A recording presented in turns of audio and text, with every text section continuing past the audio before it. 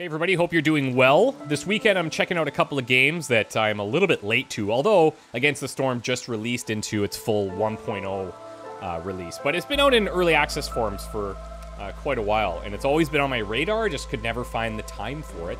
But uh, here we are to check things out. This is a game that's published by Hooded Horse, and in, in full transparency, this is not a sponsored video, uh, but the game that I've been working on for the past year and a half, two years now, called Every Day We Fight is uh, also being published soon by Hooded Horse. Well, we just signed to them a couple months ago, so really pumped about that.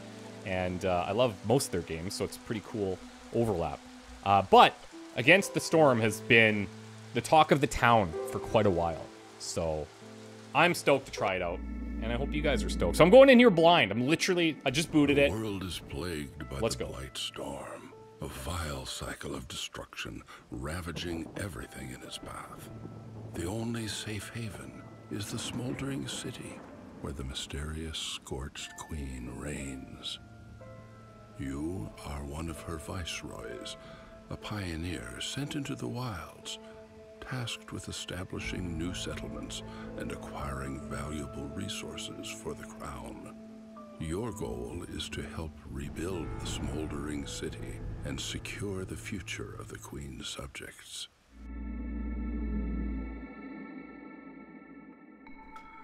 I'm all down for helping. Okay.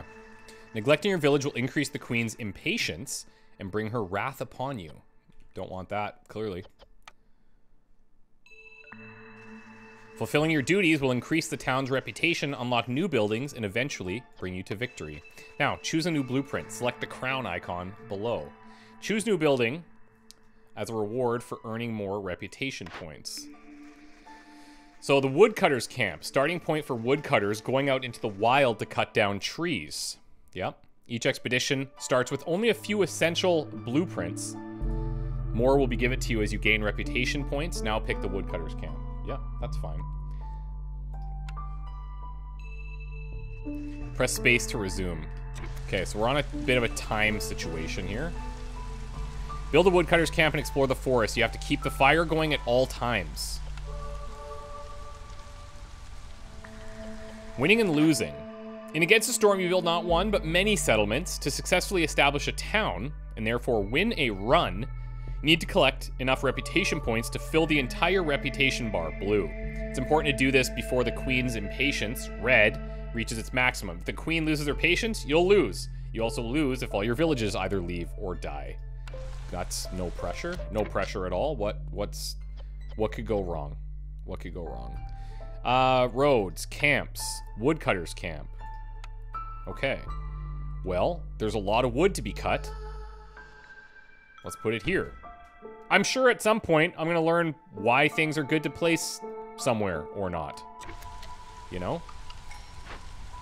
Can you guys get to uh, building that? What are we What are we thinking? What are we thinking? We could speed this up, I suppose. You can set priorities, it looks like. Very cool. Okay. So now, it looks like we can add people here. New orders. What is this? Uh, so we actually need to make two of those and then produce 10 wood in the woodcutter's camp. All right, let's do it. Let's build another one. Uh, we'll rotate it out this way. I don't know if there should be overlap or not, but again, we're just learning. Okay. I have to imagine I'm just putting people in here. I don't know what type of people they are. This guy looks like he should maybe be cutting wood. He's got the little wood symbol. So maybe we do something like that. This worker has a 10% chance of doubling their yield. Proficiency. Oh, okay. Okay. Well, that's cool. So anybody can work it. It seems.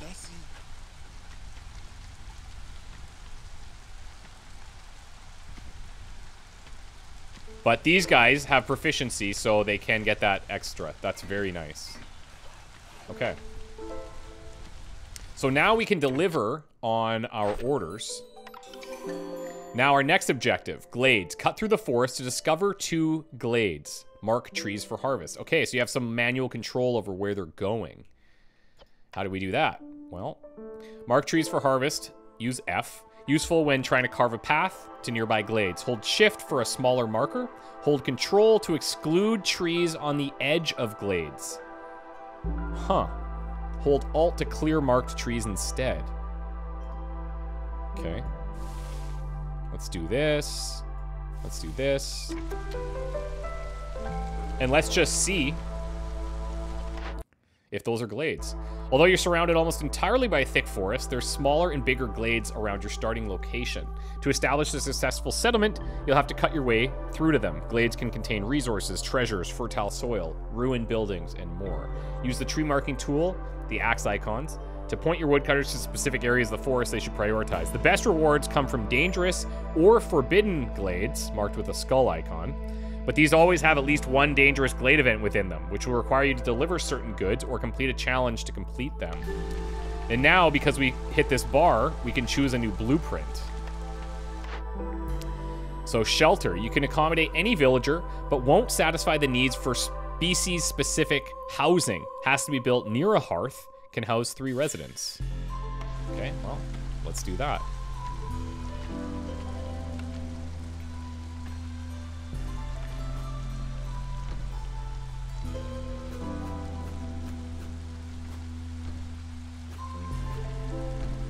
Okay. Very cool. You can see up top our resources here. Can run this a little faster, I think. Three out of five beavers woodcutter. Assign five beavers as woodcutters. Yeah, I need, I mean, looks like I need to get more beavers. Oh, I have more. Unless it's pulling from the other place, but... Nope, okay. So maybe that came from the uh, housing? Where can I see? Oh, right here. Beavers are hardworking and honest, but also quite demanding. So I have six of them, and I have three of the humans. And apparently, I have three lizards. Which is awesome. Okay, guys. They're making good progress here.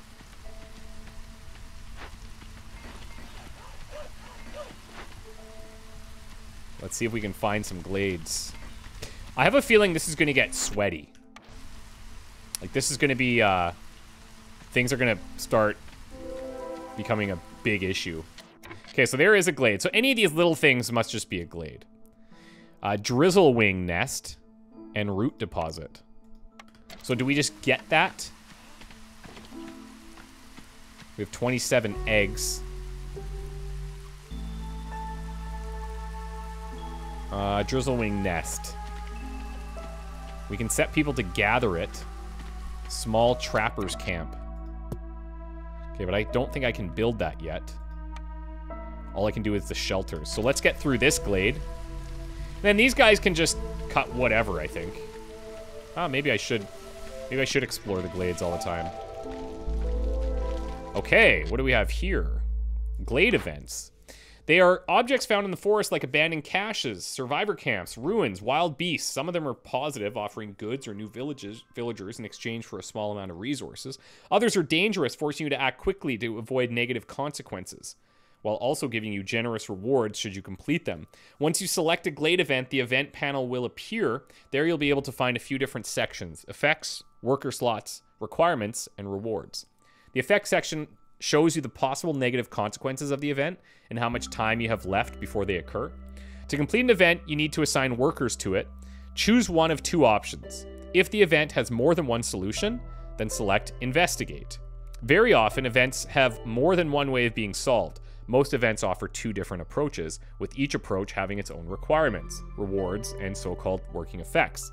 Working effects are special conditions that activate once you give the order to investigate an event, like a resolve penalty, a slow debuff, etc. Your goal is to survive these conditions for a set amount of time. After an event has been completed, your workers will deliver the rewards to your warehouse and no negative effects will trigger. Okay. So, let's take a look here. Building destroyed by the storm can be rebuilt or salvaged. Specialization bonus, forest proficiency. Some events can be resolved in more than one way, and each option has different requirements and rewards. Some decisions are marked with special keywords like empathy, and these in turn affect certain perks and orders. So we can rebuild. We would need parts, which I don't have, or we can salvage. So I guess we're going to choose this option.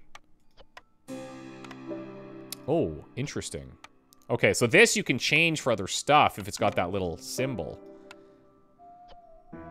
Clay. Reeds. Well, let's leave it for now.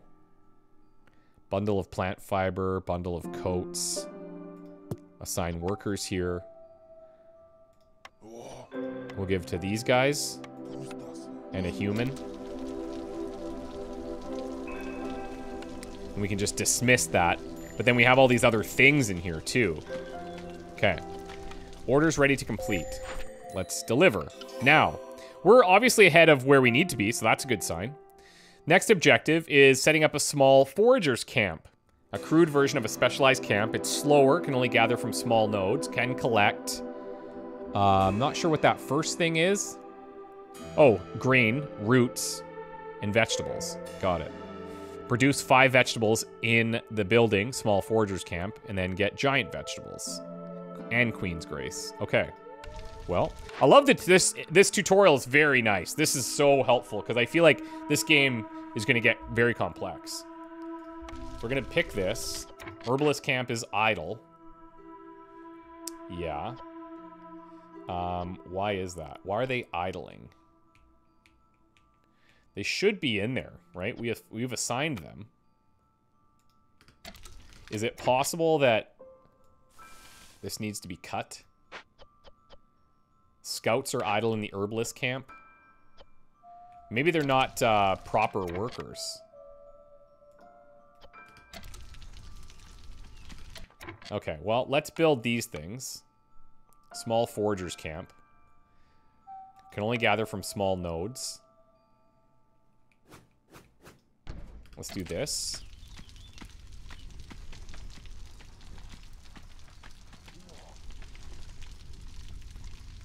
I might be rapid speeding here, but like,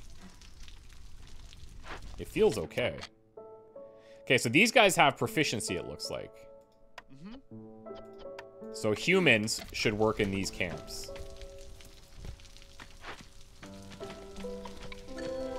I don't know why they're idling. Oh! I have to click investigate. Got it! Okay, root deposits there. Now, recipe-wise, five vegetables in small foragers camps. This recipe has a basic efficiency and only allows gathering from small nodes. All right, that's fine. Small foragers camp has no deposits nearby. Okay, so we have mushrooms there, but we need to find grain, roots, and vegetables. Okay, well, that's not great. So that's pretty helpful, actually. When you click on this, look at that. It actually shows you all of these spots. So I actually made this in a bad position. But I can fix that. My layout is going to be wonky until we figure out what needs to be done correctly here. Newcomers are waiting. Okay. Hit me with that. Newcomers. These people have been sent here by the crown. Which group do you want to stay, Viceroy? The other will continue on to the next settlement. Okay, so we either are choosing more beavers or more humans. And then the associated rewards. Let's take another beaver and a, and a velociraptor.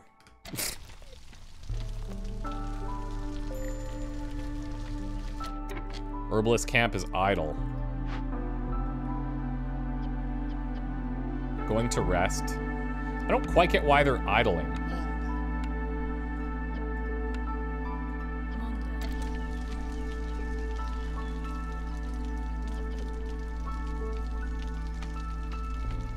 Let's throw a beaver in here. Change things up. Do we have the associated icons? No.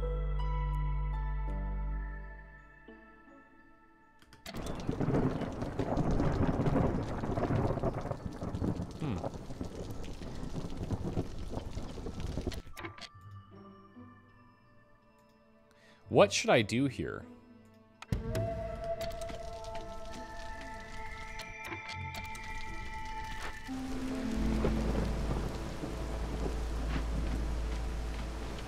I guess maybe we just need to find clay or something? Is that the idea? So let me mark some new things like this. And I'm going to actually set up another camp here. And I guess we can always just move these later. Okay. We do have this order ready to complete. Now we need to build stonecutters camps. They can gather... Okay. So they can gather large and giant resource nodes in addition to small ones. Can collect stone, clay, and sea marrow. Well, let's unlock that. Stonecutters camp. And we have some up here, now that we know what we're looking for. This is beautiful. My layout is not beautiful, but beauty is in the eye of the beholder. Can interact with objects found in the forest, allocate resources, assign workers, choose rewards, and give orders to investigate. Yeah, so...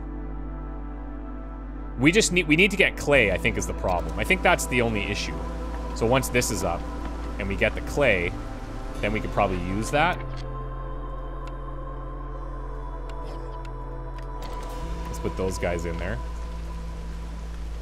And then let's get more beavers here. So instead of this, uh, where is it?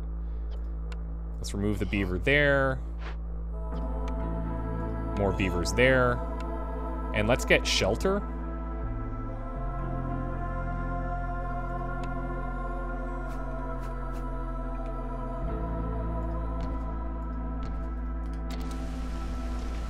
Okay, so six, seven, and four is our population.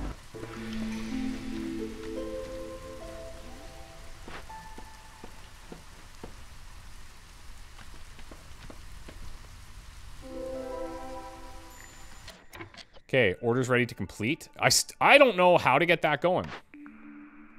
Exploration contract. So are we picking one or the other? Building materials are the foundation of every settlement. Production is 50% quicker in the building. Crude workstation. The Royal Academy wants a detailed map of the region will supply anyone willing to help. Gain 20 reed and 20 clay for each discovered glade. Okay, so it is an either or. That's good. Um... Stonecutters Camp. We need clay.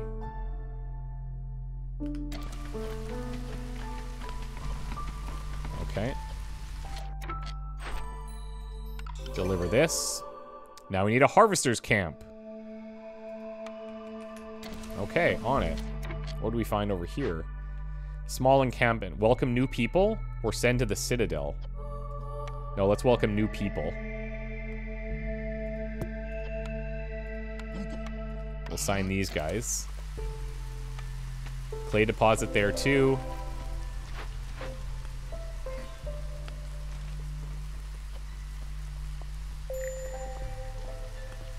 So looks like when this completes... Oh, interesting. No builders available. Scouts are idle in the small encampment. Select investigate. And no builders because... Ah, here we go. So I think now that we got that clay in, now we're good. I think that's what was happening there. We can choose another blueprint. Harvester camp. It's an advanced camp, can gather large and giant resource nodes in addition to small ones, plant fiber and reeds.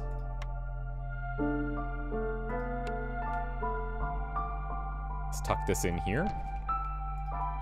And then we have that deal that we need to cut all these. I'm curious to see what this is. So let's take a threat and see what happens.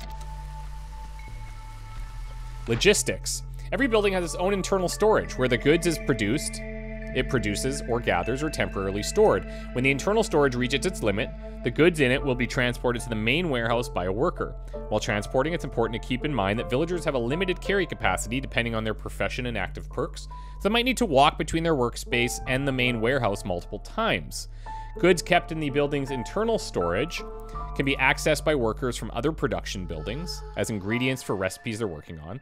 If two buildings are close enough and use each other's internal storage, an animated dotted line will be visible between them after selecting one of the buildings.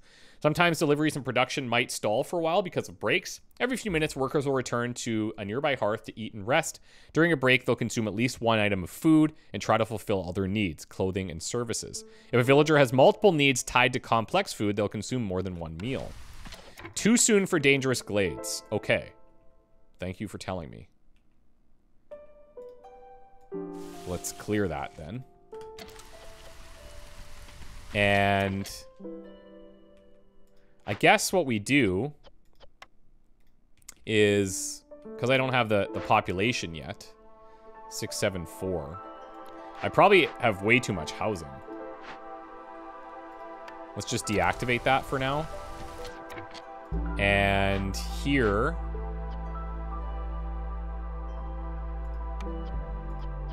Let's free that up so we can build stuff.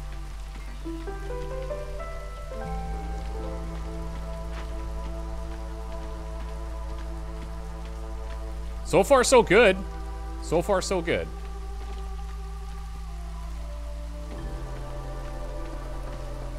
Okay, so here's the Harvester's camp. Do that. Coming back here now. 7, 7, and 5 in terms of population. So that's good. We'll turn these orders in.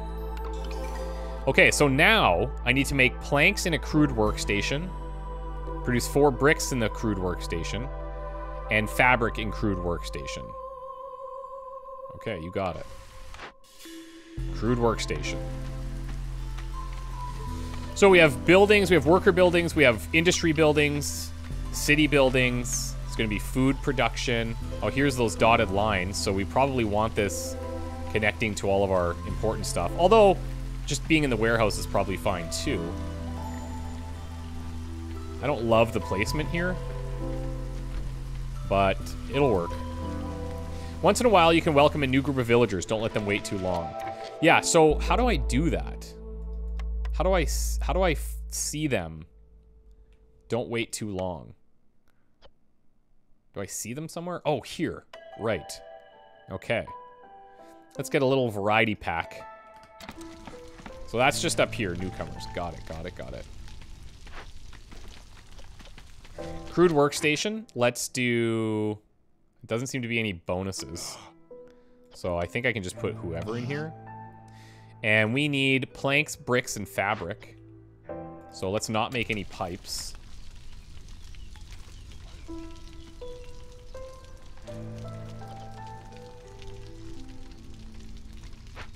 deadly. Man, I feel like everything's going pretty well. No real concerns or issues here. May as well also mark that one. It looks like our starting area is quite small here, so cool. Very cozy little game. Looks great, sounds great. Tutorial so far is fan frickin' tastic. I love a good tutorial. If you guys have been around the channel for a long time, you're gonna know. Clearance year two, next storm in two minutes. All right.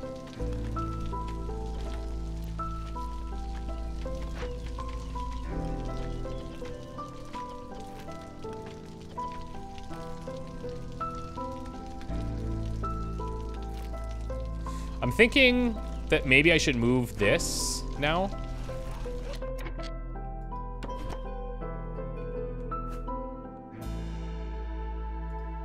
Move that up there. I'll move this a little closer.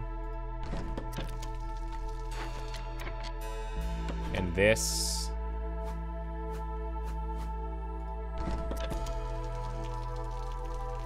That little area, like, I imagine that's the only spot where they'll cut.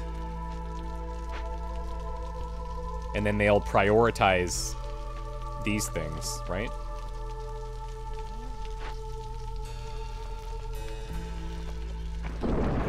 So we need the enough clay. So I also got to make sure we still have things here for them to do. But if I move this, then I can hit all of that.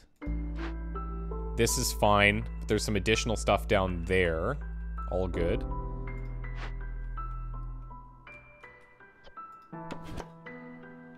And I'm going to move this just so it's in a bit of a cleaner position. Colby Munch Branch. Havu nip nibble. Oh, I thought it said nipple bark. It, it didn't. It didn't say that. Although that would be sick. Okay, we're almost done. So, I don't need bricks anymore. I mean, I'll always have them working, but I want them to prioritize these things. So we're reaching the first thing here of the Queen's impatience, it looks like.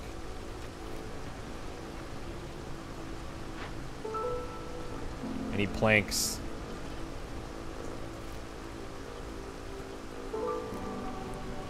Can see how much wood we have? A lot.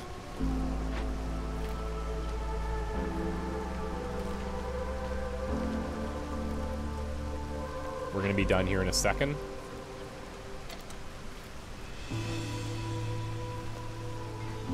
Okay. So I'll turn these all on right now, and they can kind of make whatever. Egg delivery line or fiber delivery line. 15 eggs per minute, plant fiber per minute. Huh, town's prosperity. Choose wisely, won't be able to change it. Yeah, I mean, who knows? Right? I have more like plant fiber stuff happening right now, so I think I'll stick with that. Orders ready to complete. And what's the last one? Ancient tablets. Okay, so now it wants me to cut through. That's fine. Change the resources from scrolls to fabric in the ancient shrine found there. And valuable source of knowledge, highly sought after by traders and the queen herself. They can be found in dangerous or forbidden glades. Okay, well, let's do it to it. Human house, beaver house, or lizard house. Now, what does this add? Choose one of the available blueprints here.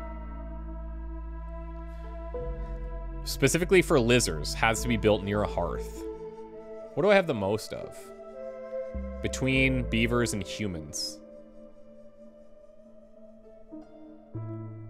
Let's pick beavers.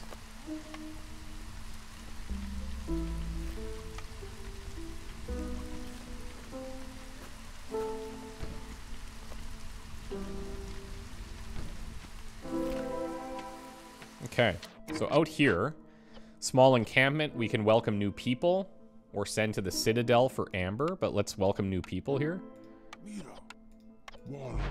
And here, send to the Citadel. This location is marked as loyalty, so we can gain influence and stuff. Sure, let's try that, just to, just to see what happens.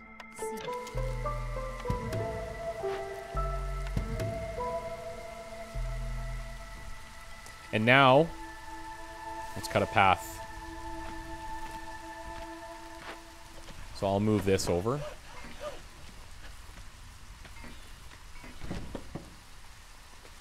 We don't need these done.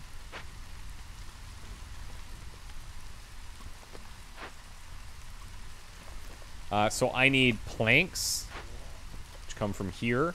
I think I will build another one of these.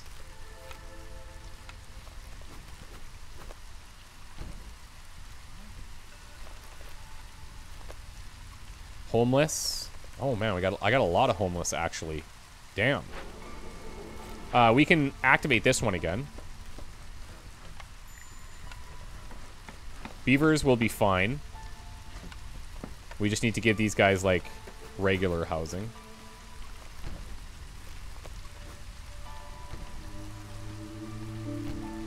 Okay. Now, should I stack these? I don't feel like that's a terrible plan. It's just, like, really crammed in there. Options. Fell all trees, avoid glades, locked for now. Oh, okay, so you can get into some really flexible things, like fell whatever, don't open any glades, only do the marked trees. I love that. Love that. Newcomers. Three humans. No, let's let's keep it varied here.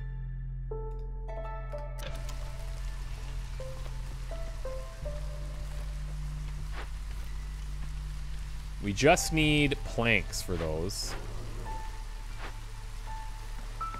Okay, so let's get in here. Let's get like an excess of, of planks going.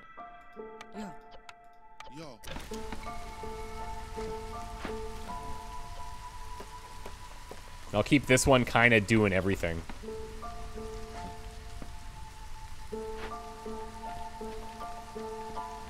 Hold shift to set a priority for all buildings of this type. Okay. Okay, so this is open. Ancient Shrine. Now, there's threats. Disturbing the ruins of the Great Civilization can have grave consequences. Kills three random villagers. Well, that seems great. Requirements. Scrolls. Planks. Unavailable in this tutorial. Select the icon to change to another resource. Yeah, okay, cool.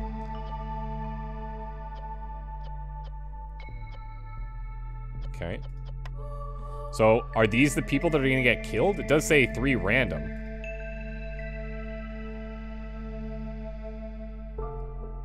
This effects will trigger if the event isn't completed in time. Got it.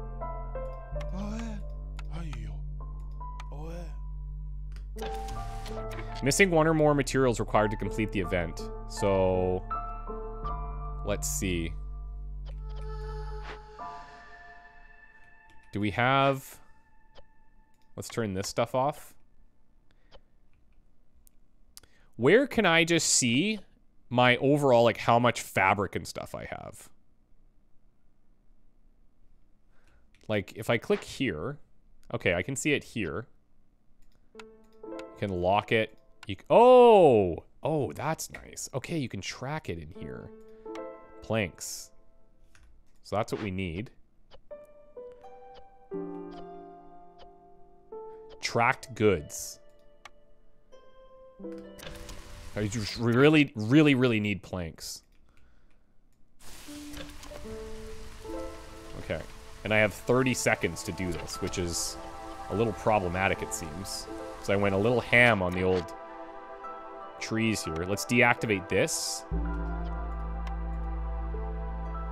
Can I actually just destroy that? Refund one plank. Yep.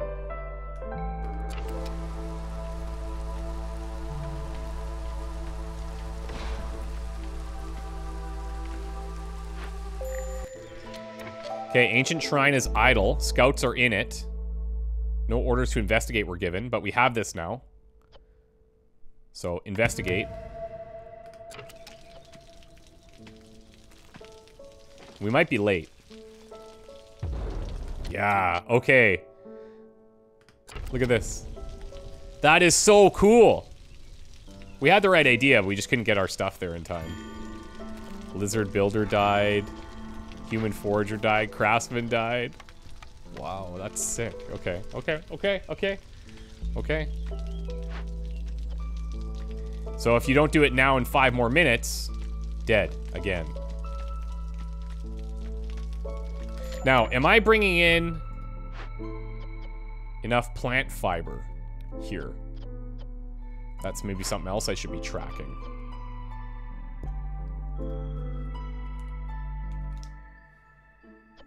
Okay, that's good. So speaking of, we can move this.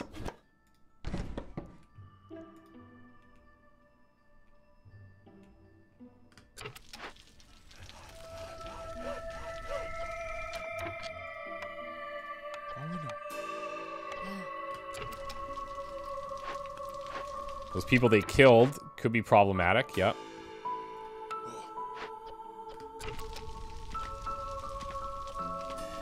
Turn the fabric on now as well. Planks and fabric.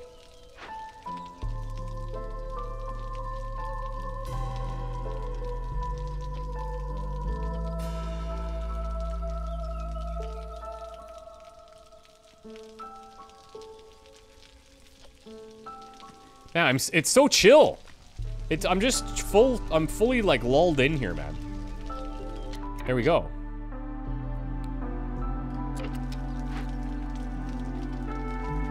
I need an ancient tablet. He's got it. He's bringing it back to the warehouse.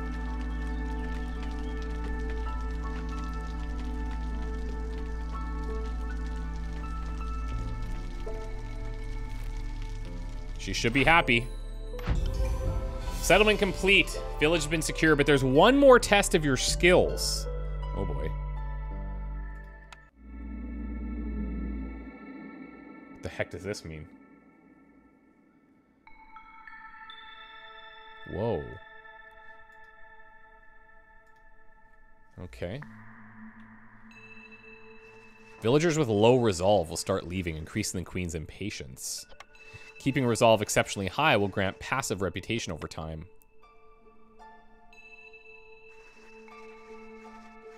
Sacred Pyre, average bonuses. Sa satisfying your village's needs will, with complex food, homes, and services will increase their resolve. Each species has a different mix of needs. It's hard to please everyone all the time. And so you probably want to specialize in types. Farmers can plant only on farm fields, and those can only be built on fertile soil. Crops are planted in the first season, drizzle, and harvested during the second season, clearance. Build a farm, harvest grain, and serve some ale in the tavern.